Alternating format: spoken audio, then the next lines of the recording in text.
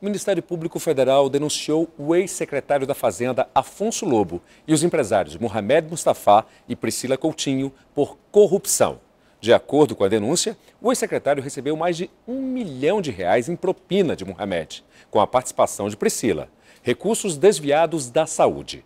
A participação de Afonso Lobo no esquema de corrupção veio à tona com a Operação Custo Político, realizada no ano passado, com desdobramento da Operação Maus Caminhos. O Sindicato dos Rodoviários fez mais uma ameaça de greve hoje. A categoria reclama do não cumprimento do acordo com os patrões. Pergunta, a senhora está preparada para mais uma greve que pode vir por aí? Não, não estou preparada não. Se tiver? Se tiver, seja o que Deus quiser. Não, não estou preparada não. A categoria fez mais uma ameaça de greve. Segundo os rodoviários, já são três meses de salários atrasados, cesta básica e nem o lanche dos trabalhadores, além do excesso de demissões por justa causa e férias vencidas. A categoria vem sofrendo vários ataques dos empresários, não temos mais data para receber pagamento, aguentamento salarial, e o último vale, que era para ser pago dia 20 de, de julho, de junho, foi pago dia 27. Dia 27.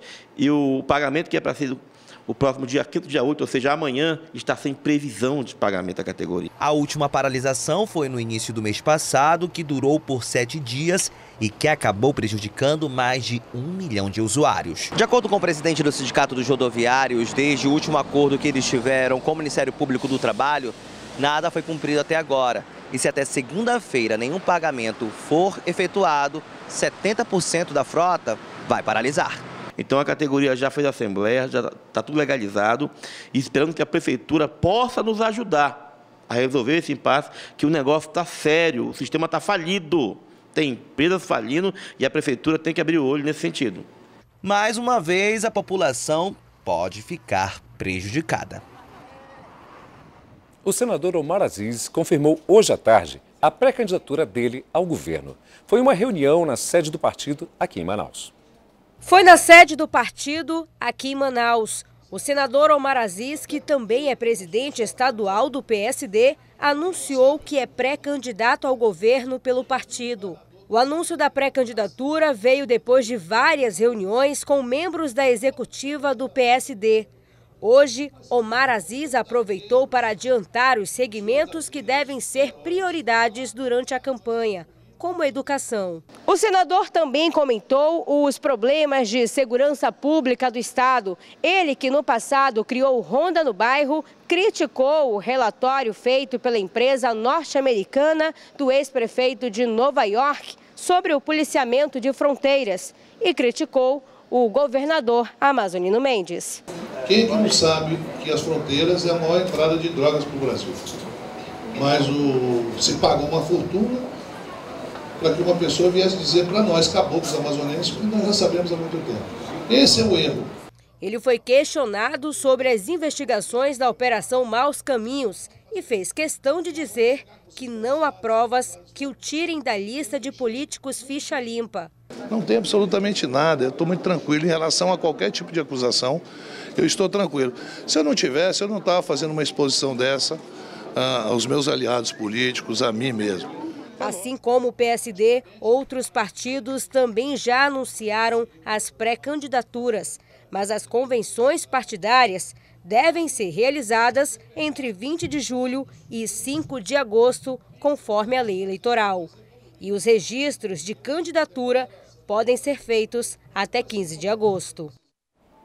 E agora a gente muda de assunto e vai para Parintins, porque depois do boi chegou a vez da festa de Nossa Senhora do Carmo, que é a padroeira da cidade. Os festejos das Santas começam amanhã.